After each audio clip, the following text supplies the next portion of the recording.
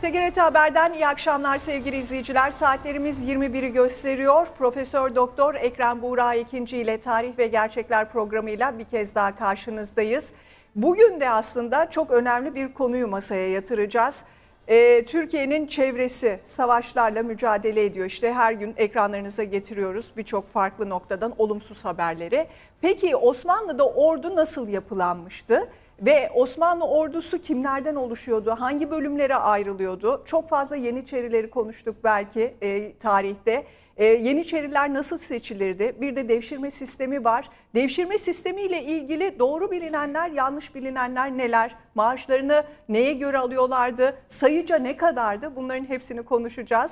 E, tabii çok daha fazla başlığımız var ama öncelikle değerli hocama hoş geldiniz diyorum. Hoş bulduk, merhabalar. Teşekkür ederiz. Hocam savaşları konuştuğumuz için maalesef biz de konudan kopamıyoruz. Ee, her hafta bir şekilde ucundan evet. kıyısından e, konuşmaya çalışıyoruz esasında. Savaş insanlık tarihi kadar eski bir şey. İnsanlar keşke barış içinde yaşasalar. Herkes kendine çizilmiş olan sınırların içinde yaşasa ne kadar iyi olur. Ama maalesef öyle değil. Bu insanın tabiatında var. Onun için insanlık tarihi kadar eski olan bir müessese var. O da devlet. Nedir devlet? E, mazlumları zalimlere karşı koruyan, haklı ile haksızın arasını bulup haklının hakkını haksızdan alan. E bunu insanlar yapabilir mi? E güçlü olanlar yapabilir. E peki güçsüz olanlar o zaman hakkını kaybeder. İşte üstün bir otorite bunu sağlar. Peki, bir de hocam insanlar yaparsa onun adı ne olur? Mesela? Ne olur tabii Adil evet. düzenden, sistemden Yani kendiliğinden hak almak ne derece insanlar bunun sınırına riayet edebilirler? O, o takdirde güçlü olan güçsüz olanı ezer. Dünyanın düzeni maalesef böyle. İşte bunun için devlet var. Devlet de bunu yaparken iki güçten istifade ediyor. Dışa karşı ordudan, içe karşı polislerden. Bunu bu bununla sağlıyor. Demek ki ordu demek devletin vurucu gücü demek. Yani devlet olmanın e, ana vasfı ordusu olmasıdır. Yani bir devlet demek için bir müesseseye mutlaka ordusu olması lazım. Ordusu yoksa o bir devlet olmaz. Şimdi diyeceksiniz ki Almanya'nın, Japonya'nın ordusu yok. Evet o 20. yüzyılın şartlarında yenilmişler olarak onların ordu beslemesine izin verilmedi. Fakat bu onların lehine oldu. Çünkü ordu beslemek çok masraflıdır. Onlar ordu beslemedikleri için bu parayı başka yerlere aktardılar. Ve o kadar zengin oldular ki istedikleri orduyu satın alabilecek hale geldiler. İstedikleri e, ordu teçhizatını yapabilecek hale geldi. Peki o ne kadar mantıklı onu da soracağım. Dışarıdan paralı e, bir orduya sahip olmak. Çünkü bizim asker ocağı dediğimiz mevhum çok çok farklı. Üstelik de tabii ki bizde bir şehitlik mertebesi de var. O hep hepsinden çok daha kutsal hale de getiriyor orduyu. Doğru zaten. Ve askerliği. Zaten e, ordu, askerlik, onun e, mistik boyutu, manevi boyutu bir arada işleniyor. Tabii bu söylediğiniz geçen asırda olmazdı, 100 yıl önce olmazdı. Ama şimdi öyle bir devirde yaşıyoruz ki postmodern bir devirde artık devletlerin çoğu kendi askerlerini değil, profesyonel askerleri kullanıyor. Amerika böyle, Rusya böyle. Artık dünyanın her yerinde bakıyorsunuz bir savaş olduğu zaman o savaşan devletlerin kendi askerleri değil, e, bu işi artık profesyonel meslek edinmiş kimseler yapıyor. Bunun iki sebebi var. Birincisi artık insanlar savaşmak istemiyorlar. Çünkü savaş çok kötü bir şey. Hele 20. yüzyıl, 21. yüzyıl savaşları geçen savaşlara benzemiyor. Eskiden savaş cephede olurdu. Sadece askerler bundan müteessir olurdu. Geri e, cephe gerisi çok az anlardı yani. Gıda maddeleri pahalılaşırdı. E, bulunmaz olurdu ama savaşı çok hissetmezdi. En azından emniyet içinde hayatlarına devam ederlerdi. Fakat şimdiki savaşlar öyle değil. Şimdi savaş olduğu zaman savaşa girenlerin en ucra köylerine kadar o savaştan mutazarrır oluyorlar. Bundan dolayı insanlar artık savaş istemiyor. İkinci bir sebebi var. Eskiden savaş kaba güce ve organizasyona dayanıyordu. Orduyu belli bir yerden belli bir yere sevk ediyorsunuz. Hadi şimdi saldırıyoruz, müdafaa ediyoruz, atıyoruz, vuruyoruz. Şimdi öyle değil. Şimdi konvansiyonel silahların da ötesinde öyle silahlar ortaya çıktı ki sizin isterseniz 1 milyon kişi ordunuz olsun. O silahlarınız yoksa bir şey ifade etmiyor. Onun için savaşların biraz rengi değişti. Ama bizim anlatacağımız mevzu savaşların hala e, kötü tarafları olmakla beraber romantik kısımlarının olduğu devirdir. Güzel devirlerdir. E, hele hele e, Müslüman devletlerin savaşlarında asker belli bir ideal, her asker belli bir ideale yönlendirilir. Şimdi yani başka devletlerin askerlerini de bu, burada tahkir etmeyelim. Ama Türk İslam kültüründe asker mukaddesatını korumak için. Nedir o mukaddesat? İlahi kelimetullah. Ne demek o? Kur'an-ı Kerim'in tarif, tarifiyle Allah'ın ismini her yere duyurmak. Bakın insanları Müslüman yapmak değil. beldeler fethetmek değil, ganimet almak değil, insanları ezmek, var mı benim gibi demek değil. Allah'ın adını her yere duyurmak. Çünkü Allah'ın adını duyurmak demek sadece İslam dini, inanç, amel değil aynı zamanda güzel ahlakın, mazlumların himayesinin, medeniyetin, estetiğin de oraya girmesi demek. Müslümanlar bunun için savaşmışlar. Osmanlılar bunun için savaşmışlar. Biz çocukluğumuzdan beri hep Osmanlıların harpleriyle büyüdük. Mehter dinledik. Evet. Ve bizim için Osmanlı tarihi elinde pala, e, savaşan, kelle koltukta savaşan, vatanından uzaklarda savaşan insanlar demekti. Evet, görünüşte bu doğru. Ama zaman içinde tarihe baktığınız zaman öğreniyorsunuz ki mesela ben İsmail Hami Danışment'in kronolojisini okumuştum. Osmanlı tarihi kronolojisi. Orada tarih gün gün bütün Osmanlı hadiselerini anlatıyor. Bakıyorsunuz her savaşın bir sebebi var. Sebepsiz bir savaş yok. Hadi ya bir savaş yapalım. Paslandık evet. epeydir. Gidelim şunların haddini bildirelim. Öyle değil. Çünkü savaş masraflı bir şey. Zahmetli bir şey. Hazinenizin dolu olması lazım. Ordunuzun güçlü olması lazım. İç dinamiklerinizin, sosyal yapınızın güçlü olması lazım. Aksi takdirde hazineniz boşalır. Bu e, kelebek tesiri meydana getiriyor. Ordu da bo- bozuluyor. Adalet bozuluyor. Siyasi teşkilat bozuluyor. Halk kaynaşmaya başlıyor. Kıtlık, açlık, göçler başlıyor. Bu sefer devletin devletliği elinden gidiyor. O zaman Devletler hesaplamadan yapılmaması gerekiyor. Tabii. Bu arada etiketimiz de var. Osmanlı'da ordu etiketiyle sevgili evet. izleyicilerimiz de bizlerle sorularını paylaşabilir. O zaman ilk başlıktan başlayalım mı hay hocam? Hay. Hay. Birazdan da soracağım aslında Osmanlı ne neyi e, bahane ederek savaş evet, ilan evet, ediyordu? Evet, onlar çok anlattık e, onları ama biraz yani daha hiçbiri, genişletiriz hiçbiri, ama tabii, hiçbirisi keyfi değil. Hepsinin bir sebebi var. Evet. Nedir o sebep? E, ya saldırmışlardır ya e, bir, bir kitleye zulmetmişlerdir, bir haksızlık yapmışlardır. Ha, bu gerekçe savaş için yeterlidir, değildir. Orasını tartışmıyoruz. O bizim meselemiz değil. Ama şunu bilelim ki yapılan bütün savaşlar mutlaka bir gerekçeye dayanıyor. Gerekçeye dayanmayan savaşlarda hep hüsran olmuştur. 93 Harbi gibi, 1877-78 Osmanlı-Rus Savaşı gibi hep hüsran olmuştur. Ama gerekçesi olan savaşlar eğer bir de zaten savaş e, Kur'an-ı Kerim'in tabiriyle mutlaka zaferdir. Mutlaka. Yani e, eğer savaşınız meşru bir savaşsa, yani keyfi bir savaş değilse, Allah rızası için, mukaddesatınız için savaşıyorsanız zafer muhakkaktır. Yalnız bunun şartı var. Bir, kumandanların emri dinlenecek. Yani ben kafama göre bu kaleyi boşaltmam, geri çekilmem, teslim olmam bunu diyemezsiniz. Kumandan ne emrediyorsa yapmak lazımdır. O tarihlerde anlatılan kaleyi teslim et emrine rağmen teslim etmedi. Geri çekil denmesine rağmen geri çekilmedi. Sonuna kadar savaştı, şehit oldu. Bunlar yanlıştır. Yani bunlar olmuşsa bile doğru değildir. Kumandanın sözü dinlenir. Çünkü asker harbi analiz edemez. Askerin vazifesi verilen emri yapmaktır. Hadiseyi daha büyük gören kumandanlardır. Kumandan ne emir vermişse onu yapacak. Bu bir. İkincisi teçhizatınızın yerinde olması lazım. Silahınız yok, paranız yok, Askeriniz yok, tankınız yok, tüfeğiniz yok. Düşmana saldıramazsınız. Ne yapacaksınız o zaman? Alttan alacaksınız.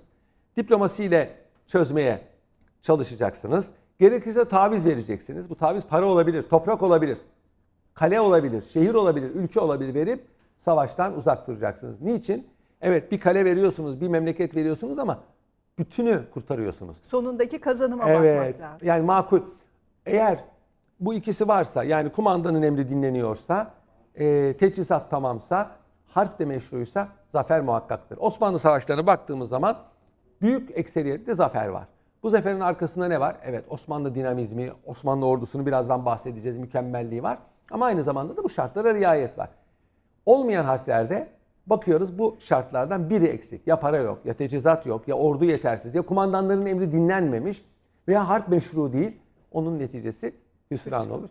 Şimdi Osmanlı ordusundan bahsedelim. Hocam ilk düzenli ordu benim bildiğim kadarıyla Osmanlı'da evet. Orhan Gazi zamanında Orhan Gazi başlıyor. Beraber. Doğru evet, mudur? Doğrudur. Tabii şimdi e, Türkiye'de pek çok müessese var. Türkiye Cumhuriyeti Osmanlı İmparatorluğu'nun külleri üzerinde kurulmuş onlarca devletten biri. Suriye gibi, Irak gibi, Bulgaristan gibi, Yunanistan gibi, Kıbrıs gibi. Ve Osmanlı müesseselerinde devralmış. Nasıl bir insanın babası öldüğü zaman onun mirası ona kalıyorsa o da bunları devralmış. Danıştay'dan tutun Yargıtay'a kadar tapu dairesinden tutun mekteplere kadar, üniversitelere kadar hepsi Osmanlı'dan kalmadır. Osmanlı'dan kalmayan ne var? TRT, Atom Enerjisi Kurumu gibi zaten o zaman olmayan, olması beklenmeyen hava kuvvetleri bile Osmanlı'dan kalma.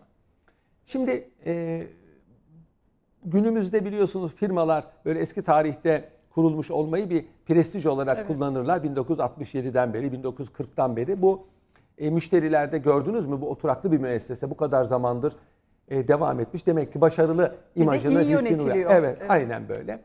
E, şimdi de müesseselerin kapılarına işte şu tarihte kuruldu, bu tarihte kuruldu diyor. Hepsine bakıyoruz. Bir tarihi var. Polis teşkilatı, işte Danıştay falan. Ama bakıyorsunuz e, Türk ordusuna 2000 küsür sene. Şimdi e, 174 milattan evvel, evvel Türklerin büyük hakanı Mete'nin ki Mete ecnebice bir isimdir. İsim Mete değil. Çin kaynaklarında Mao Tun diye geçiyor. Çince ile Türkçenin biliyorsunuz uyumsuzluğu var. E, tarihçiler diyor ki bu zatın adı Batır, Bahadır idi. Bir takım e, meta tezlerle bu Mao Tun oldu, Mete oldu. Bizim Oğuzhan dediğimiz şahsiyet kuvvette ihtimal bu. Milattan önce 174'te öldü. Bunun Hun ordusunu dizayn ettiğini biliyoruz. Sağ kanat, sol kanat diye dizayn etmiş. Bir. İkincisi Han'a bağlı birlikler, yani profesyonel askerler, paralı bunlar. Ağır piyade, ağır süvari. Tıpkı Yeniçeri Ocağı'nda olduğu gibi. Bir de e, boy beylerinin askerleri. Yani eyalet askerleri tıpkı Osmanlı'da olduğu gibi. Bir de savaş taktikleri geliştirmiş. Bu taktiklerin bir kısmı Türklerin yarı göçebe hayatından kaynaklanıyor. İşte o bozkır taktiği, hilal taktiği bu- bunlardan bir tanesi düşmanı kıskaca alıp sıkmak. O, geri çekilmek, geri çekildiği imajı verip düşmanı kendisine kovalatmak. Ondan sonra böyle yayılıp düşmanı arkadan çevirmek. Bu pek çok savaşta tatbik edilmiş ve enteresandır. Düşman hiçbirinde de ya bunlar gene böyle yaparlar. Bizi kıskaca aldılar dememiş. Bu da Kaçamamış, enteresan bir hadisedir. Evet. Şimdi Bir de onun için- hocam sözünüzü Buyurun. bölüyorum ama bu arada tabii ki Hunlar zamanında çok önemli e, silahlar da üretilmiş bulmuş öyle değil mi? Yani tarihe geçmiş üstelik de savaşlarda başarılı olup o sınırları genişletmeye yardımcı olmuş Hun enstrümanlar da devleti, bunlar. Hun devleti çok geniş sınırlara erişmişti. Bu sınırların içinde tabii e, çok farklı kültürler vardı. Bu kültürlerden etkilendikleri gibi demir madenleri vardı. Evet. Demir madenlerini kullandıklarını ve demirden çok sayıda silah yaptıklarını ve bunları kullandıklarını biliyoruz. Bunlara ait mezarlarda bu silahları biz buluyoruz. Şimdi şunu söylemek istedim, e, şeyim oydu. Şimdi Türk ordusu diyor ki biz Hunlar zamanından beri varız. Ama tabii e, teknik olarak Türkiye Cumhuriyeti Ordusu'nun kuruluşu 1920'ye tarihleniyor. Yani Ankara hükümeti kurulduktan sonra önce düzensiz ordu, sonra düzenli ordu o zamanla tarihleniyor. Ama tabii ordunun 2000 küsur senelik yaşında olması ona ayrı bir ihtişam veriyor. Tabii bu iyi midir, kötü müdür burası tartışılır. Şöyle ki sizin meclisiniz bile 100 yaşında ise ordunuz 2000 yaşındaysa bu şu demektir. Yani e, ordu her zaman idarenin gölgesindedir. Bu da işin negatif tarafıdır. Yani ordunun vazifesi dışta emniyeti temindir. Devlet idaresine karışmak değildir ama tarih boyunca ve Osmanlılarda da biz görüyoruz ordunun zaman zaman politikaya karıştığını. Tabii elinde silah olan güçlüdür. Güçlü olan da her zaman sözünü geçirmek ister. Bu başka bir bahis. Şimdi Osmanlılar Hunlardaki bu sistemi aynen almışlar. Şimdi Osman Gazi Osmanlı Devleti'nin kurucusu kabul edilir. Babası Ertuğrul Gazi Moğolların önünden Mahan'dan yani bugünkü İran'ın güneyinden buralara gelmiş, yerleşmiş. Selçuklularla akrabalıkları ve tanışıklıkları var. Selçuklular onları bugün Bilecik, Söğüt, Eskişehir havalisine Uçbeyi olarak yerleştirmiş. Uçbeyliği Avrupa'daki markiliğin karşılığıdır. Ee, stratejik emniyeti var çünkü hemen ötesinde Bizans hududu var. Halbuki diğer beylikler birbirlerine hudutturlar. Bu Osmanlılarda kuvvetli bir e, gaza ruhu Avrupalıların tabiriyle meydana getirmiş. Çünkü dibinizde Bizanslar var. E, Bizanslar öyle veya böyle Türklerin buraya yerleşmesini ve yayılmasını istemeyen bir güç. Potansiyel bir düşman. Her zaman düşman değil. Bu Osmanlı Devleti'ni devamlı diri tutmuş. İşte Osmanlı Devleti'nin kuruluşunun en mühim dinamiklerinden bir tanesi, dinamiklerinden bir tanesi budur. Gaza ruhudur. Yani cihat ruhudur. Şimdiki tabirle. Şimdi cihat biraz sulandırılıyor ve farklı manalara getiriliyor. Onun için gaza ruhu dedim. Şimdi Ertuğrul Gazi'nin ve Osman Gazi bu gaza ruhunu nasıl e, hayata dönüştürüyorlardı? Aşiret birlikleri var. Osman Gazi'nin kendisi kumandan. Oğlu daha düşük kumandan, oğulları. İşte bu yakın arkadaşları daha alt kumandanlar. her boyun Os- Osman Gazi'ye bağlı her boyun gençleri savaş olduğu zaman atlarına biniyorlar, savaşa gidiyorlar. Savaş olmadığı zaman köylerine dönüyorlar. Koyun besliyorsa koyun besliyor. Çiftçilik yapıyorsa çiftçilik yapıyor. E bu o zaman için Orta Çağ için çok normal bir ordudur. Yani daha düzenli ordu değil. Hadi savaş var. Filancaya filancaya haber gönderin. Birlikleri göndersin. Tahmini bir birlik sayısı bundan hücum ediliyor. E o zaman hepsi eğitimli miydi? Tabii bunlar devam. Çünkü yarı göçebe hayat yaşamanız için zaten atın üzerinden inmiyorsunuz.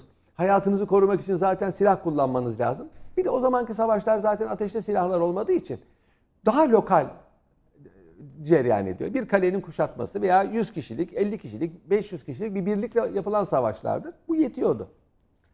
Orhan Gazi zamanında Orhan Gazi'nin kardeşi Alaaddin Paşa ki onun veziriydi.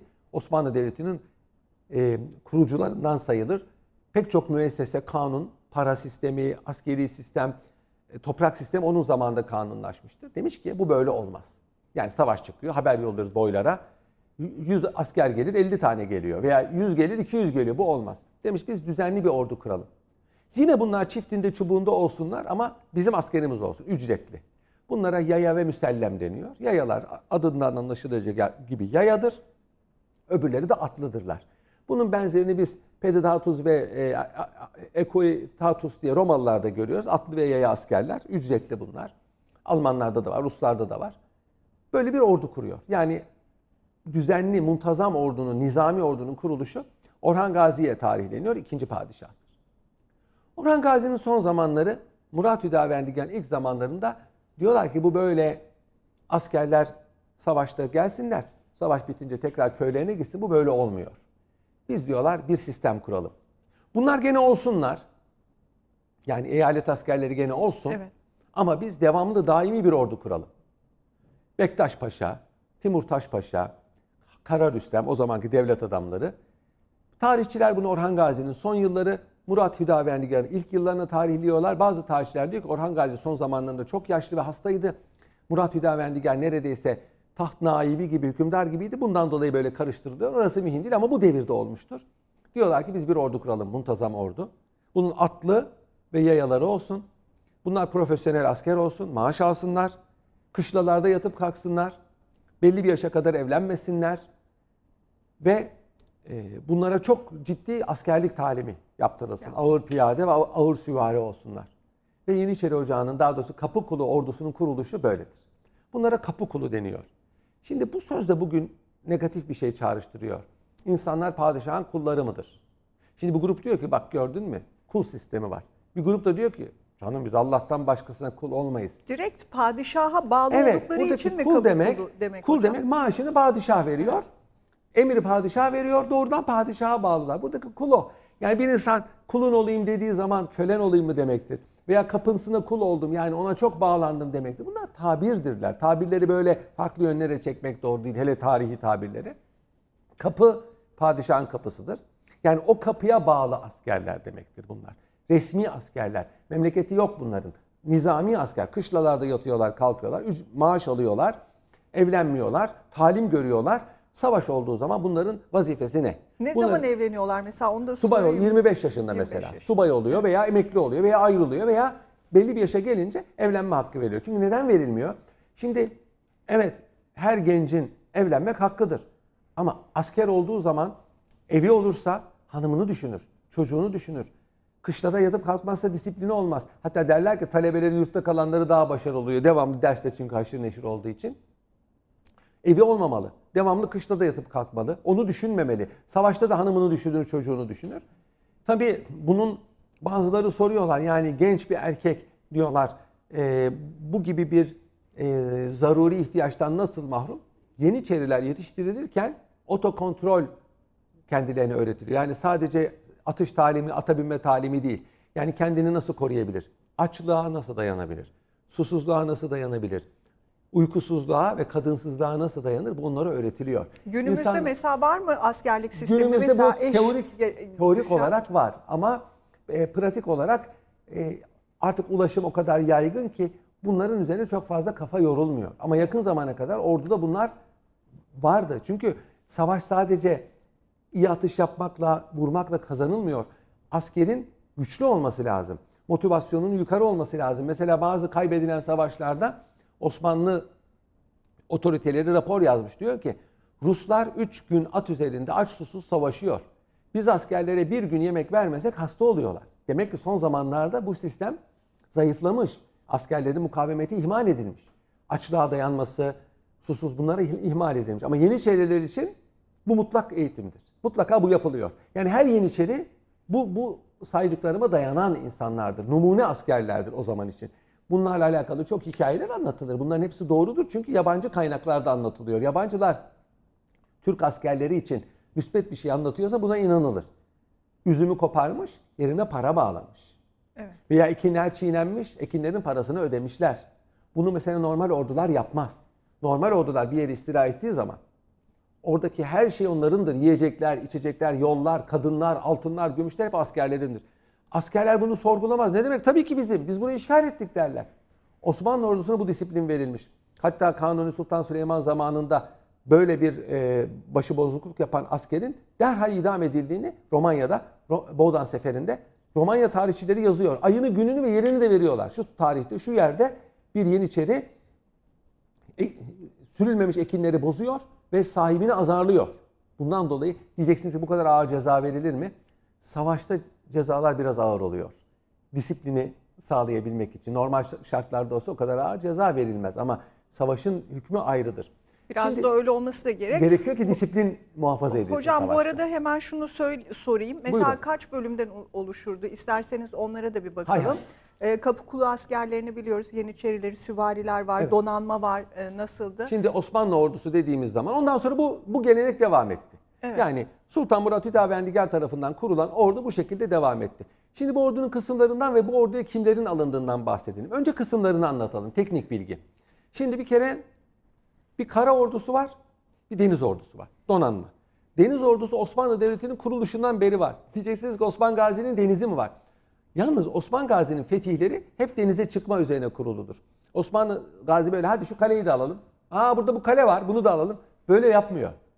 Bütün derdi Marmara Denizi'ne ve Ege Denizi'ne çıkabilmek. Çünkü biliyor ki denize çıkan bir devlet istikbalde tarihte rol oynar. Osman Gazi'yi çok böyle primitif e, gösteriyorlar. Yani böyle vurducu, kırdıcı, baba yani, mert ama cahil, okuma yazması yok. Hayır. Osman Gazi fevkalade entelektüel, fevkalade basiretli ve ferasetli bir ortaçağ hükümdarıdır. Bunu Avrupalılar söylüyorlar. Osman Gazi zamanında değil ama Orhan Gazi zamanında denize çıkıldı. Ve ilk Osmanlı donanması o zaman kuruldu. Orhan Gazi zamanında Rumeli'ye geçildi. Bu neyle salla geçilmedi. Şimdi bir şiirde var. Salla geçildi diye. Geçtiler Rumeli'ye sal ile arttı şanımız. Hayır salla geçilmedi. Gemilerle geçildi. Binlerce asker sal ile Çanakkale Boğazı'ndan geçebilir mi? O romantiklik katıyor. Tablosu bile var Kapı Dağlı'nın. Gemileri var Osmanlıların. Hatta gemiler yetmedi. Cenevalılardan da gemi kiraladılar karşıya geçebilmek için. Ve bugün Bandırma'da, Belkıs'ta, Edincik'te bir Osmanlı tersanesi kuruldu. Osmanlı orada hafif gemiler yapmaya başladı. Çünkü bütün emelleri İstanbul'a Gelmekte. Evet. Donanma var. Şimdi donanmanın başında kaptanı Derya var. Donanma apayrı teknik bir e, yer. Gemiler var. Gemiler sizin. Siz inşa ediyorsunuz. Satın alıyorsunuz. Gemideki askerler sahil kasabalarından seçiliyor. Yüzme bilen, Zaten denizden bilen. korkmayan, ürkmeyen kişiler seçiliyor. Onlar yetmezse kara askerlerinden denize mukavemet edebilecek, denizi yadırgamayacak olanlar seçiliyor ve donanmaya e, giriyorlar. Osmanlı donanması zaten e, yeni çağda bütün dünyada muazzam nam yapmış bir donanmadır. Her zaman da Osmanlı donanması Osmanlı Devleti'nin yıkılışına kadar yani çok bu mevzuda spekülasyonlar olur ama güçlü bir donanma olmuştur. Sultan Abdülhamit zamanında da. Sultan Abdülaziz buna çok ehemmiyet veriyordu. Dünyanın üçüncü donanması Osmanlı donanması. E, İngiltere, Fransa'dan sonra Osmanlı, Rusya'nın bile donanması Sultan Aziz zamanında Osmanlılardan daha ileri değil. Hocam araya gireceğim. Ee, son bir tarihe bakalım. 29 Ekim'de e, Boğaz'dan geçen evet. donanma. Evet. E, hakikaten göğsümüzü evet, kabarttı. Evet öyle şimdi. O da bir mesaj da esasında. Mesaj tabii donanma bir güçtür. Evet. Şimdi gelelim kara ordusuna. Üzerinde esas duracağımız o. Çünkü belki donanma başka bir program konusu olabilir. Denizcilik başka bir program konusu olabilir. Kara ordusu ikiye ayrılıyor. Tıpkı Hunlardaki gibi. Kapıkulu askerleri, eyalet askerleri. Eyalet askerlerini önce onları anlatalım. Şimdi Osmanlı Devleti'nin arazisi devlete ait. Fethedilen yerler devletin olur. Devlet bunu köylülere kiraya verir. Ömür boyu eker biçerler. Öldükten sonra çocuklarına kalır. Peki karşılığında kirayı kim toplar? devletin vazifelendirdiği bir kişi. Buna bir sipahi diyoruz. Bu sipahi o köyün kiralarını toplar. Onda birdir. Mahsulün onda biri. Aşar derler buna. Orada oturur. Köyün büyüklüğüne göre 3000 akçede bir asker besler. 6000 akçede 2 asker. 9000 akçede 3 asker. 12000'de 4 asker. 20 bin olunca buna zeamet deniyor. Böyle devam ediyor. Şimdi Tımarlı Sipahi harpte yararlık göstermiş bir asker. Kendisi de asker. Bu bu askerlere talim yaptırıyor. Atıyla, zırhıyla, kılıcıyla normal zamanda bunlar çiftinde, çubuğunda çalışıyorlar. Savaş oldu mu bir emir geliyor. İran'a sefer var. Erzurum Beylerbeyi'ne emir. Erzurum Beylerbeyi Erzincan Sancak Bey'ine emir gönderiyor. Erzurum Beylerbeyi ordu komutanıdır. Yani birinci, ikinci, üçüncü ordu gibi. Erzincan Sancak Bey'i, Sancak Bey'i kol ordu komutanıdır. O da Kemah Alay Bey'ine haber gönderiyor. Alay Bey de albaydır. Ne kadar sürede mesela hazırlanıyorlar? Bu istihbarat ya da Evet. işte emir komuta sistemi nasıl çalışıyor? Bunlara inşallah bir sefer anlatırız Osmanlı haberleşmesini. İstanbul'dan bu işe mahsus ulaklar her yere haber götürüyorlar. Tatar derler bunlara. Ufak tefek, zayıf kişilerdir ama çok çeviktir. Ata atlarlar İstanbul'dan bu haberi götürmek üzere. Hiç atın üzerinde inmeden 10 günde, 7 günde, 8 günde varacağı yerin uzaklığına göre buraya haberi götürür. O zaman tabii şimdiki gibi telgraf yok, telefon yok. Bu Tatarlar götürüyor. Ee, bu tabii savaş çok önceden kararlaştırılıyor. Tedbirler ona göre alınıyor ve valilere haber gidiyor. Valiler kısa bir zaman içinde ordularını topluyorlar. Ordu İstanbul'dan çıkıyor İran'a giderken öyle yüz binlerce kişi değil. Yol boyu ordular ona iltihak ediyorlar. Dinlenmiş ordu, yorulmuş değil. İstanbul'dan kalksa yorulur. Mesela İran'a giderken Erzurum ordusu yorulmamış bir ordudur. Diyarbakır ordusu yorulmamış bir ordudur. Bunlar orduya iltihak ediyor. Biz bunlara eyalet askerleri diyoruz. Bunlar hafif süvarilerdir. Atları var, kılıçları var, kalkanları var, zırhları var. Talimli askerler. Ama bunlar tımarlı sipahinin oğludur, yeğenidir, köylüsüdür, kölesidir. Mühim kim mühim değil. O, o tımarlı sipahiye kalmış.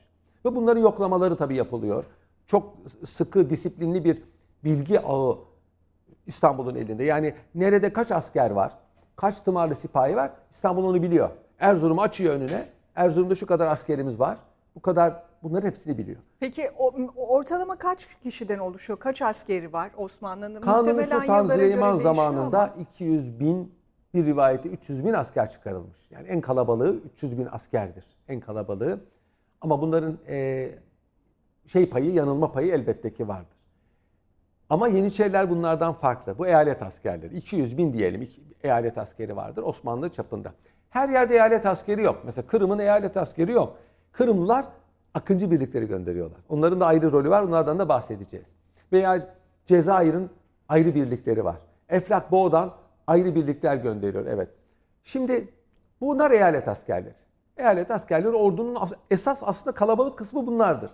Ama bunlar çok popüler değildir. Popüler olanlar Kapıkulu askerleri biraz da Yeniçerilerdir. Kılık kıyafetiyle, hal hareketiyle. Ama esas orada eyalet askerleridir. Evet, kılık Yani- kıyafet derken özür dilerim hocam. Bunları da bir yandan verelim Evet. de istiyoruz. Ee, Yeniçerilerin kıyafetleri Bunlar Nizam-ı ilgili. Cedid askerleri. e, Sultan Selim zamanında. Bunlar Yeniçeri değil. Evet yok biz Bunlar- orduyu bunlar genel evet, Yeniçeri olarak verdik. askerleri, Bu evet. Yeniçeri askeri Evet. tipik bir Yeniçeri askeri. Evet Börkü'yle hatta bu Börkü'nün de bir hikayesi var. İşte o Hacı Bektaş Veli'ye mensup bir evliya dua ediyor ordunun kuruluşunda. Osmanlılar'da bir müessese kurulurken bir evliya veya bir alim çağırıp dua etmek adetti. O zat geliyor dua ediyor. Temsili olarak da oradaki bir askerin böyle başından aşağıya kadar okşuyor. Şu e, üsküfün arkası ve bunu sembolize eder. Aslında zırhtır o. Evet. Yani arkadan bir şey vurulduğu zaman kolay kolay başını kesemez. Bu onu keçeden yapılıyor. Keçe külah. Bu koruyor askeri. Zırh aslında. Tıpkı bir miğfer gibi. Miğfer gibi. Evet. Tabii ki bu da kesilir ama ona kadar şeyin hızı kesiliyor kılıcın ve asker yaralı olarak kurtuluyor. Ölmüyor. E, odur. Bu şeyin hikayesi budur. Evet. Şimdi hocam peki Zırhıyla, yatağanlarıyla, efendim kılıcıyla bu tüfekli tüfek zamanından kalmadır bu kıyafetler. Şimdi bu Yeniçerilerin e, eyalet askerleri esas Osmanlı ordusu dediğimiz zaman o ta Viyanalara kadar giden Tebriz'e kadar Osmanlı ordusu aslında eyalet askerleridir. Bunların hepsi Türktür. Gayri Türk unsurlar bunlarda çok azdır. Gayrimüslimler var ama onlar daha çok yol gösterme, istihbarat gibi işlerde kullanılıyor. Ordunun bir de kapı kulu kısmı var. Herkesin bildiği, merak ettiği ama aslında ordunun çok da kalabalık bir grubu değil. Fatih zamanında 4000 kişi. Yani 100 bin kişilik bir ordunun 4000 kişisi Kapıkulu askeri. Bunların da bir kısmı Yeniçeri. Yani piyadeler, ağır piyadeler. Bunlar talimli asker esaslı her silahı kullanıyorlar. Sipahiler, atlılar, cebeciler yani cephane işlerine bakanlar ki bunların içinde lağımcılar da var. Lağım deyince bizim şimdi bildiğimiz lağım anlaşılmasın. Kalelere bunlar te- tünel açıyorlar. Kale fethedilsin diye işte İstanbul'un fethinde de var tüneli açıyorlar fakat sesi duyuyor onlar. Toprak altında çalışma sesini ve lağımı havaya uçuruyorlar. Riskli bir iş ama e, kale fetihlerinde çok büyük rol oynuyor bu lağımcılar, tünelciler. Top, topçular var. Çünkü top Osmanlı ordusuna Yıldırım Sultan Bayezid zamanında girmiştir. Karaman Seferi'nde tarihçilerin çoğunun rivayetine göre ve Fatih Sultan Mehmet zamanında çok inkişaf ettirilmiştir. Yavuz Sultan Selim zamanında ise dünyanın en güçlü topları Osmanlı ordusundadır. O zamanın şartlarında hareketli toplar var Osmanlı'da yani. Ve, ve Fatih Sultan Mehmet bu işe kafa yormuş. Çünkü top bir kere ateşlendiği zaman bitiyor Evet. bekleyeceksiniz saatlerce soğuyacak.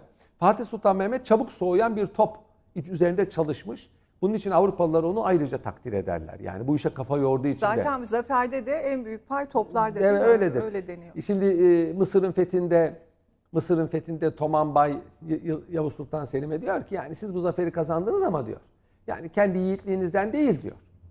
Toplarınızdan kazandınız diyor. Bizimki onların çakılı topları var. Yavuz Sultan Selim'in dönen topları var. Siz orduyu bu tarafa çektiğiniz zaman karşı tarafın topları çakılı olduğu için size hiçbir şey yapamaz. Onu çevirmek de bayağı bir mesele. Yavuz Sultan Selim arkadan onların işini bitirmiş. Cennet kılıçların gölgesi altındadır. Hazreti Peygamber'in sözüdür bu. Bunu söylüyor Toman Bay Sultan Selim'e. Sultan Selim de diyor ki bu düşmana karşı her çeşit silahı hazırlayın ayeti kerimesinin tefsiridir. Kur'an-ı Kerim'de diyor ki siz düşmana karşı her silahı yapın. Düşmanda top varsa topu yapacaksınız. Tayyare varsa tayyare, füze varsa füze. Yani sadece kılıçla savaş kazanılmaz o semboliktir diyor. Ve Toman Bay'ı kendi sözüyle ilzam ediyor. Yani teknik güç Osmanlı'nın zaferlerinde çok mühim bir rol oynamıştır. Topçular var. Top arabacıları var. Top arabacıları bu topların cepheye intikalini sağlayan bugünkü lojistiğin karşılığıdır. Bunun dışında Kapıkulu ordusunda esnaflar var. Şimdi herkes onu soruyor. Ya diyor bu kadar insan sefere gidiyor. Ne yiyip ne içiyorlar orada? Yani bu sefer e, milletin tarih kitaplarında okuduğu gibi haydi gidelim zafer bizimdir. Peki yolda bu insanlar yemek yemeyecekler mi? Elbiseleri kirlendi, yıkamayacaklar mı? Banyo yapmayacaklar mı? Helaya gitmeyecekler mi? Hasta oldular. Bunlara ilaç, doktor olmayacak. Bunların hepsi lazım. Ayakkabısı parçalandı, atının nalı düştü. Bir de ordu esnafı var. Ordu ile beraber sefere giden bir ordu esnafı. Sefere çıkılacağı zaman devlet ilan ediyor. Diyor ki Romanya'ya sefer var. Orada esnaf olmak isteyen var mı? Esnaf müracaat ediyor. İşte nalbant, semerci, terzi, hamamcı müracaat ediyorlar. Bunlardan seçme yapılıyor. Orduya alınıyor. Bunlar asker artık. Dönene kadar asker. Bunlar ordu ile beraber sefere gidiyor. Mehter denilen, çadır mehterleri denilen bir birlik var. Bunlar önden gidiyorlar. En önden akıncılar gidiyor. Yollara bakıyor, köprüler. Şuradan geçilir, buradan geçilmez. Burada düşman var. Burası tehlikeli. Bunları bir öğreniyorlar. Haber alıyorlar, istihbarat yapıyorlar. Sonra çadır mehterleri gidiyor. Ordu nereye konacaksa orayı hazırlıyor. Su kenarı, helaları kuruyor, mutfakları kuruyor, yatakhaneleri kuruyor. Ordu geldiği zaman hazır bir ordugah buluyor. Padişahın da çadırı hazır olduğu halde. Aslında işler- sistemi kuruyor sistem, bir şekilde. Sistem. Evet. Zaten zafer bu sistemdedir. Bu ordu esnafı enteresandır. Haçova Meydan Muharebesi'nde Sultan 3. Mehmet zamanında ordu bozuldu Avusturyalıların karşısında. Padişaha geri çekilelim diye tavsiyelerde bulundular. Padişah tereddüt etti. Şimdi ben çekilirsem bozgun katileşir. Durursam, öldürürsem mesele yok. Ama esir düşersem bu daha da kötü. Ne yapayım derken ordu esnafı ellerine ne geçirdiyse kap kacak, kepçe, kazma, balta düşmanın üzerine yürüdü. Düşman mağlup oldu. Çok enteresandır. Yani ordu esnafı ki kendinden böyle bir şey beklenmez. Bu Osmanlı ordusunun ne kadar motive, motive olduğunu, maneviyatının ne kadar yüksek olduğunu gösteren bir hadisedir. Bir de Demek hocam ki- şunu da sormak istiyorum. Özür dilerim. Mesela padişahlar hep savaşta ordunun başında mıdır? Ee, ve e, başında olması ne gibi bir e, bir e, avantaj sağlıyor ordu için? Bir de son dönemlerde mesela hatta şu da söylenir. Padişahların evet gitmediği savaşlar maalesef Doğru. hüsranla sonuçlandı. Şimdi şöyle, e, orta çağda, ilk çağda ve yeni çağda umumiyetle ordunun başında hükümdar bulunur. O hükümdar zaten başkumandandır. Orada bulunmasının çok çeşitli sebepleri var. Bir, yürütmenin başı olduğu için savaşın detaylarına o karar verecek. Barışı o yapacak. İki, manevi olarak faydası var. Yani asker onu başında gördüğü zaman motivasyonu artıyor. Üçüncüsü bir problem çıktığı zaman padişahın, hükümdarın, kralın neyse bizzat müdahale edip onu çözme imkanı var. Onun için umumiyetle, umumiyetle hükümdarlar ordusunun başında sefere gitmiştir. Gitmediği seferlerde olmuş. Hastadır, yaşça küçüktür, başka bir problem vardır veya küçük bir seferdir. Oraya bir serdar tayin edilir, bir kumandan tayin edilir. Kimdir bu? Bu ömrü savaşlarda geçmiş, tecrübe kazanmış bir vezirdir. Buna geniş selahiyetler verilir. Padişahın her selahiyetini neredeyse kullanır. Hatta böyle açık fermanlar verilir. Onu doldurur. Padişah fermanı gibi muamele görür. Ama bu nadir. Ekseri padişahlar sefere gidiyor. Sefere gitmeyen padişahlar da var. Bundan dolayı tenkit edilir. Mesela Sultan II. Selim. Ama Sultan II. Selim zamanındakiler deniz seferleridir. Deniz seferlerine padişah gitmez. Onun zamanında Tunus fethedildi, Kıbrıs fethedildi. Yani her padişah sefere gidecek diye bir kaide yok. Ama bu anane devam etmiştir. Ne zamana kadar? 17. asrın sonlarına kadar. 1697 Sultan II. Mustafa ordusunun başında en son sefere çıkan hükümdardır. Ve bu e, sefere çıkması önce galibiyet getirmiştir. Fakat sonra bir talihsizlik, e, orduyu ortadan ikiye bölmüş bir köprünün havaya uçması, Osmanlı ordusu ikiye bölünmüş, düşman karşı tarafı imha etmiş, bu taraf desteksiz kaldığı için geri çekilmek mecburiyetinde kalmış. Yani padişahın başında bulunduğu ordu bile başta zafer kazandığı halde sonra mağlup olmuş. Ve ondan sonra Osmanlılar külahlarını önlerine koyup düşünmüşler demişler ki bu neden böyle oluyor? Artık dünyada ordu padişahın, hükümdarın başında gittiği seferler devri kapandı. Gidiyorsunuz, bir savaş yapıyorsunuz, son darbe iş bitiyor. Artık öyle değil. Artık aylarca, günlerce çok geniş cephelerde ve müttefiklerle devam eden savaşlar var. Müttefik dedim de e, dünyada hiçbir devlet tek başına birden fazla devlette savaşmamış. Hep bir müttefiki olmuş. Mesela İngiltere dünyanın süper devletiyken bile hep yanında müttefikleri var. Osmanlı Devleti tarih boyunca hiçbir müttefiki olmadan birden fazla devletle savaştığı çoktur. Bir yandan Avusturya, bir yandan Rusya, bir yandan İran. Bunu dünyada askeri tarihçiler diyor ki bunun bir benzeri tarihte yoktur. Ve bunda muvaffak oluyor. Yenildiklerinde diyor ki valla yenilmeseler şaşardık. Karşısında birkaç tane süper güç var. Tek başına. Hiçbir müttefiki olmadan. Ve çok uzun ikmal merkezleri. Yani kolay değil. Avrupa'nın içinde savaşıyorsunuz. Yenilmesi normaldir diyorlar ve Osmanlıların o yenilgilerini onlar mağlubiyet kabul etmiyor. Diyorlar ki 4-5 devletin karşısında gene iyi dayandı helal olsun diyorlar. Bunu da antiparantez söylemek isterim. Bunu hiçbir devlette yok. Evet. Şimdi artık e, politikacı hükümdar devri açılmış. Asker hükümdar devri kapanmış. Bakıyorsunuz Fransa kralı da ordunun başına sefere gitmiyor. Avusturya imparatoru da gitmiyor. Rus çarı da gitmiyor.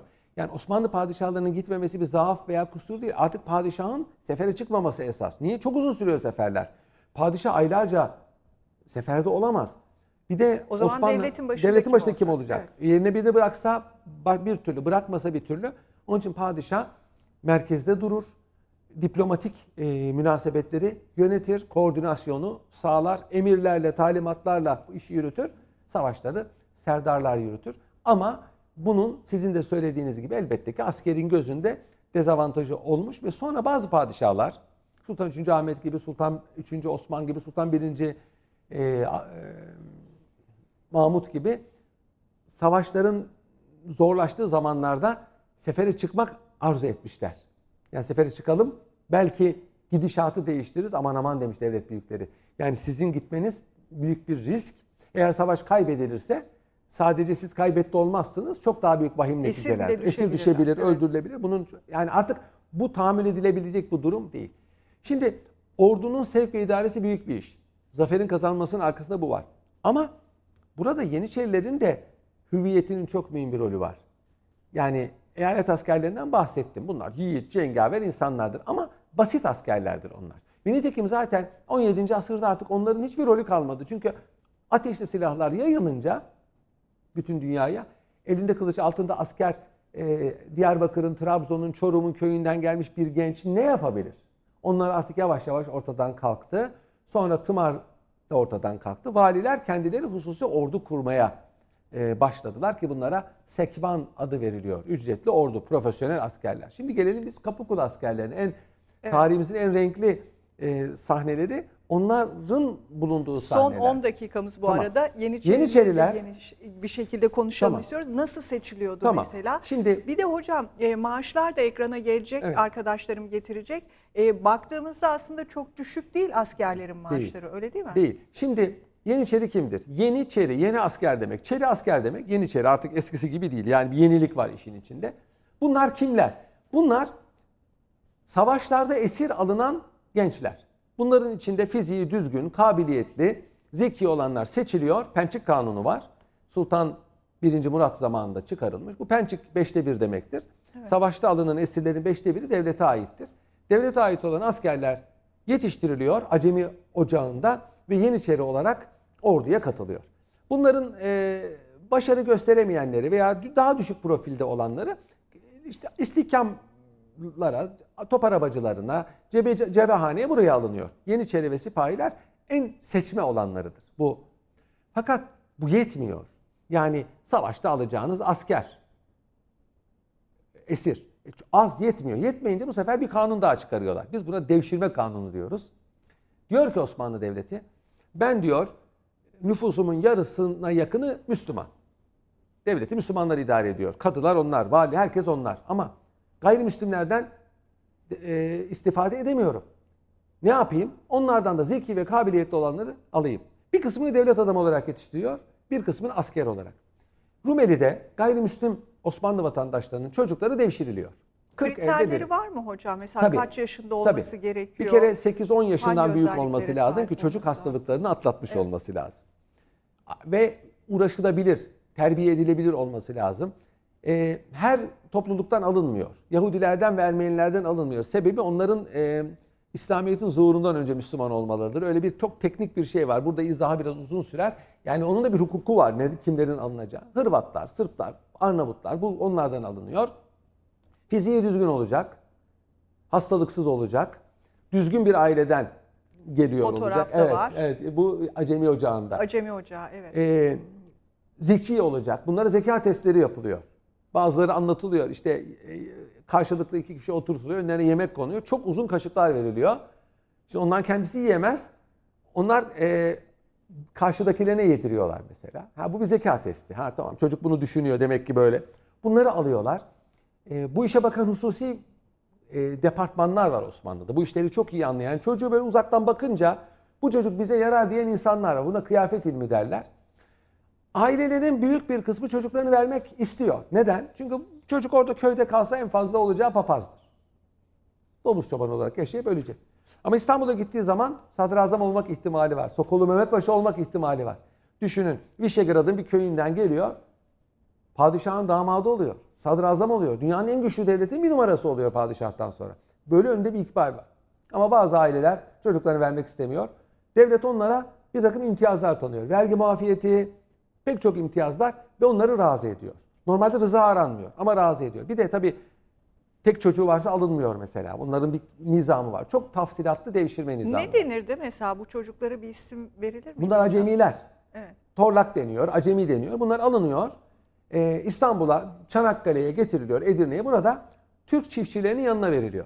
Burada Türkçe öğreniyorlar, İslam dini öğreniyorlar, oturma kalkma, yemek yeme öğreniyorlar. Ne kadar olsa bunlar mütecaniz farklı milletlerden. Bu safhayı geçerlerse, başarı sağlarlarsa acemi olanlar mektebine alınıyorlar. Bir nevi ilkokul. Burayı da geçerlerse e, Yeniçeri Ocağı'na alınıyorlar. Acemi oluyor. Başlıyorlar artık oradan asker olarak subaylığa kadar, Yeniçeri alına kadar terfi etme imkanı var. E, çok sıkı bir disiplin var Yeniçeri Ocağı'nda. Biraz evvel söylediğim otokontrol mekanizmalarından başka itaat, otoriteye bağlılık, yaptık, yaptığı işlerin ganimet için, fethi için, desinler için değil belli bir hedefe odaklanma var. Bunlar tabi menşeleri ne olursa olsun artık Türktürler ve Müslümandırlar. Bir kere bunu bilmek lazım. Bazıları bunlar işte or, Osmanlı'da orijinin hiçbir mühim, ehemmiyeti yoktur. Ait olduğunuz sınıf mühimdir. Bunlar artık Yeniçeri'dir. Yeniçeri bir İslam ordusudur. Türk ordusudur. Buradaki askerler, Yeniçeriler Türktür. Bir de hocam sürekli Bektaşilikle tabii ki bir bağ kurulmuş. Onu da söyleyelim. Öyle- Nasıl Şimdi olmuştu? Osmanlıların fetih siyasetinde şu var. Bir yeri fethettiğiniz zaman oraya İslamiyet'i nasıl yayacaksınız? Zorla insanları Müslüman yapmak yok İslamiyet'te. Oraya ulema götürüyorsunuz, alimler. Onlar insanlara dini doğru olarak anlatıyor. Bunun yanında dervişler götürüyorsunuz. Ahmet Yesevi'den gelen dervişler bunlar, Anadolu dervişleri. Ki Bektaşiler de buna bunların içindedir. Bunlar gittikleri yerde köyde bir tekke kuruyorlar. Tekke nedir? Dervişlerin yaşadığı yer. Bugünkü gibi değil tekkeler. Bahçesi var, ekin ekiyorlar, hayvan besliyorlar, üretime katkıda bulunuyorlar, bunları fakirlere dağıtıyorlar, kendileri yiyorlar, yemek veriyorlar, dağıtıyorlar. Şimdi Bulgar köylüsü diyor ki ya bunlar Osmanlı hocaları, Osmanlı keşişleri bunlar ama bize yemek yediriyorlar. Hastalarımıza ilaç veriyorlar, bizim sıkıntılarımıza destek oluyorlar. İslamiyet'i güzellikle benimsiyorlar. Yani gönüllü olarak İslamiyet'in benimsenmesi için bunlar rol oynuyor. İşte Yeniçeri Ocağı da kuruluşundan itibaren tasavvufla iç içe olmuş. Bektaşi tarikatı yozlaşmadan halis bir tarikat olarak dururken Yeniçeri Ocağı'nı irtibatlamışlar. Ocakta imam var. Yeniçeriler imamla beş vakit namaz kılıyorlar. İmam akşamla yatsı arasında bunlara dini bilgiler okutuyor. Hatta bununla alakalı kitaplar var bugün elimizde. Aynı zamanda tekke var. Orada bir Bektaşi şeyhi var. Bunlara tasavvuf öğretiyor. Tasavvuf nedir? Merhamettir. Kalp kırmamaktır yoksa sadece tesbih çekmek demek değil. Yani ey askerler siz insanları öldürmek, toprak almak için mücadele etmiyorsunuz. Siz ulvi bir maksat için mücadele ediyorsunuz. Onu onlara öğretiyor. Ondan dolayı Bektaş tekkesi var. Ama Yeniçeri Ocağı'nın sonuna doğru her şey böyle güzel gitmiyor. Yeniçeri Ocağı'nın sonuna doğru e, bu yozlaşmış. Ocak da yozlaşmış, Yeniçeri, Bektaşi tarikatı da bunlar birbirine zarar vermiş. Yeniçeriler maaşlı asker. Evet. Ücret alıyorlar. Bu ücretin adı ulufe. Ulufe alaftan gelir. Hayvan arpası demek. Bakın maaş demiyor çünkü sizin yaptığınız iş o kadar büyük ki biz sizin ücret veremeyiz. Ancak atınıza arpa verebiliriz manasına gelen çok güzel bir kelime ulufe. 3 ayda bir veriliyor ve Topkapı Sarayı'nda veriliyor. Çok büyük merasimler oluyor. Her birlikten e, temsilciler geliyor. Orada onlara yemek veriliyor. Ulufe dağıtılıyor. Bunlar iyi paralardır. İşte ekranda... E, ekranda ortada var hocam. Evet. E, Yeniçeri ağası ne Evet. kadar alıyor, sekban başı ne kadar, Bunlar Yeniçeri katibi, kul kül, e, Evet, kerkütası, yayabaşı. E, Bunlar hepsinin subaylar. almış olduğu Tabii bu akçeler. e, bu miktar e, tıpkı Yeniçerilerin sayısı gibi mesela Fatih Sultan Mehmet zamanında 4 bin kişiydi. Kanuni Sultan Süleyman zamanında 20 bin kişiydi. Sultan 4. Murat zamanında 1640'tır vefatı 100 bin kişiydi. Ama bakıyor baktılar bunların yarısı yok. Şimdi İsimleri var sayılar da yıllara Evet, göre evet. ekranda e, sevgili izleyicilerimiz Yani bu zaman zaman değişmiş. Sultan 4. Murat bunları tekrar yarıya indirmiş. Yani azaltmak istemişler. Çünkü Yeniçeriler sadece ordu değil, Edirne'de, Çanakkale'de, Budin'de, Filibe'de emniyeti sağlıyorlar. Polis yani aynı zamanda. Aynı zamanda Yeniçeriler itfaiyeci. Yangın çıktığı zaman onlar söndürüyorlar. Yani Yeniçeriler fonksiyonel ve ellerinde silah var. Şimdi elinde silah olan başta da söyledim ya tehlikelidir. Ee, kandırılmaya müsaittir. Ne kadar olsa genç askerler bunlar. Kazan kaldırma şeyi. Yeniçerilerle hep Evet. e, biz bu tabiri kullanırız. Bir de hocam son 3 dakikamız ama şu da çok benim dikkatimi çekmişti. Mesela Yeniçerilerin kazanları neden kutsaldır? E, bir de tabii son 3 dakikaya belki sığmayacak ama bu ayaklanma nasıl e, başladı ilk olarak ve ne şekilde sonlandırıldı Söyleyelim. bu sistem? Şimdi e, kazan yemek yemeyi ifade eder. Sembolik kıymeti vardır. Tarikatlarda da Mevlevi Bektaş, Bektaşi tarikatında da yemekle meşgul olanlar, mutfakla meşgul olanların tarikatta bir rütbesi vardır. E, hatta e, Yeniçeri subaylarının isimleri ya mutfakla alakalıdır ya hayvanlarla alakalıdır. Zaharcıbaşı mesela, av köpeklerini besleyen, seksoncubaşı bunlar e, o zamanki orduda ehemmiyet verilen iki şey. Yemek ve hayvanlar. Bunlara bakan kişiler. Kazan Yeniçerilerin e, yemek yedikleri, tabildok yedikleri şey. Her bölüğün ayrı kazanı var. Şimdi isyan edecekleri zaman kazanı sırık geçiriyorlar askısına. İki Yeniçeri sırtına vuruyor. O sembolik olarak isyan etmek demek. Kazan kaldırmak tabiri buradan gelir. Hatta çok enteresan tabirler de vardır bununla alakalı. Şimdi Yeniçerilerin ayaklanmaları umumiyette etrafın telkiniyle olmuştur. Genç insanlar, ellerinde de silah var. Ufak bir memnuniyetsizlikte klikler tarafından tahrik edilerek ayaklandırılmışlardır. Yeniçeri ayaklanmalarının bilinen en eskisi Osmanlı Devleti'nin en güçlü olduğu zamanlarda Fatih Sultan Mehmet devrine tarihlenir. Buçuktepe isyanı derler buna. Sultan Fatih üç kere tahta çıktı. Babası tahtı bıraktı ona. Sonra geldi Varna Savaşı oldu. Tekrar gitti. Tekrar bıraktı. Tekrar geldi Kosova Savaşı. Tekrar gitti. Yani üç kere tahta çıktı. Bir rivayette iki kere. Cülüs bahşişi verilmesi lazım her birinde. As, e, padişah tahta çıkınca Yeniçerilere bahşiş verir. Cülüs bahşişi derler. Bu hazineyi bayağı sarsar. Düşük ayarı, bir dakika aş- ayarı arada. düşük paradan verdiler. Gümüş ayarı. Öyle olunca askerler ayaklandılar. Bunu e, Fatih Sultan Mehmet'i istemeyen, Sultan II. buranın tekrar tahta çıkmasını isteyen vezirlerin tahrik ettiği söylenir. Ondan sonra bu isyan hiç bitmedi. Genç Osman'ı tahttan indirdiler, öldürdüler ve e, Lamartine'in tar- tabiriyle padişah kanının lezzetini aldılar. Ondan sonra devamlı en ufak bir istedikleri olmadığında veya hükümetten, padişahtan memnun olmayan kliklerin, bürokratların tahrikiyle ayaklandılar ve bu ayaklanmalar Osmanlı Devleti'ni öyle bir hale getirdi ki hükümet de halk da Yeniçerilerden bir izar oldu. Ve bu o, kangren olmuş yarayı düzeltmeye çalıştılar, düzelmedi. Düzeltmeye çalıştılar, düzelmedi. Harplere gidiyorlar, savaşmıyorlar. Harpten kaçıyorlar. Kayıtsız adamın kaydı var, ölmüş, parası alınıyor, yeniyor. Yeniçeriler e, esnaflık yapıyor. Kışlalarda oturmuyorlar, evlenmişler, çoluk çocuk sahibi olmuşlar, halka haraca kesmişler. En nihayet Sultan II. Mahmut vurucu darbeyi. Sultan 3. Selim vurmak istedi, hayatıyla ödedi. Sultan II. Mahmut vurucu darbeyi yaptı. Önce Avrupa'yı bir talim kurmak istedi. Biz dedi keçeye kılıç sallarız, testiye kurşun atarız. Avrupa'yı talim istemeyiz. Halbuki devir değişiyor. Avrupa'yı talim yapmanız lazım. Evet. Bunun üzerine padişah bütün devlet adamlarını topladı. Hepsinin görüşünü aldı. Şeyhülislam'dan fetva aldı. Ve halkın da yardımıyla Yeniçeri Ocağı'nı 1826'da kaldırdı. Kazan döndürdü. Döküldü, söndürdü ocağı demiş şair. Dökülünce ocak söndü. Ocak biliyorsunuz müessese için, aile için kullanılır ama mecazen ateş demek Peki. malum. Ve 1826'da modern bir ordu kuruldu. E, daimi, mecburi ve gönüllülük esasına dayanan bir ordu kuruldu. Peki çok teşekkür ederiz Ben hocam. teşekkür ederim. E, yine her zamanki gibi çok keyifliydi. Teşekkür E, ederim. süremiz tabii el verdiğince konuşuyoruz hepsini. E, daha da detaylandıracağız tabii ki önümüzdeki haftalarda. E, değerli katılımlarınızla birlikte. Sevgili izleyiciler biz noktalıyoruz. Kısa bir aranın ardından gelişmelerle Mehmet Aydın sizlerle birlikte olacak. Bizden ayrılmayın.